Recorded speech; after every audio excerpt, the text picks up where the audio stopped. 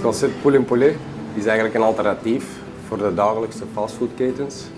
Het is de mensen iets gezond brengen, lekker en op een heel leuke, dynamische manier eigenlijk. Alles is gebaseerd op kip. Wij hebben allemaal afgeleide producten van kip wel, zoals vol van kipfilets. Uh, wij, serveren een Caesar salad, wij serveren kippensoep. Alles afgeleid van kip, maar het is alleen kip. En een Griekse salaatje voor de vegetariërs.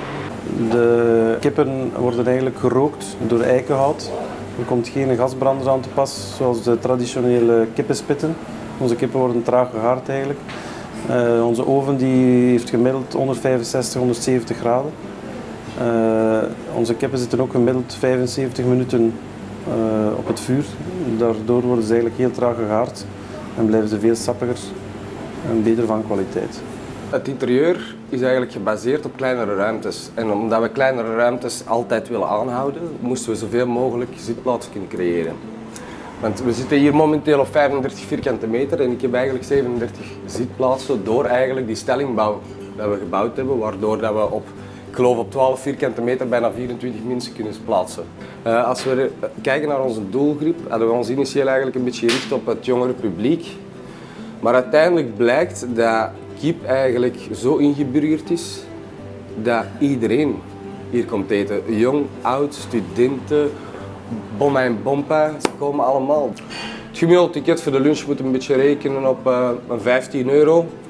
De avond ongeveer 20 euro. Ik, ik kan mijn personeelskosten naar 26% trekken, makkelijk. Mijn NFB-kost ligt iets zo, 2, 33%. Waarom is dat? Omdat wij met een centrale keuken werken. En alles komt per zaak binnen. En hier wordt alles geregenereerd en zo eigenlijk aan de klant toegebracht. Ja, het is de bedoeling uh, dat we met Poulet Poulet eigenlijk twee takken uitbouwen. We hebben langs de ene kant de retail-tak, de shops, en langs de andere kant de resto-tak. Dus die willen we eigenlijk naar de toekomst alle twee een beetje simultaan uitbouwen. Het is de bedoeling dat we de eerste drie zelf opbouwen en dat we uiteindelijk uh, een franchise-model uitrollen voor de rest van België.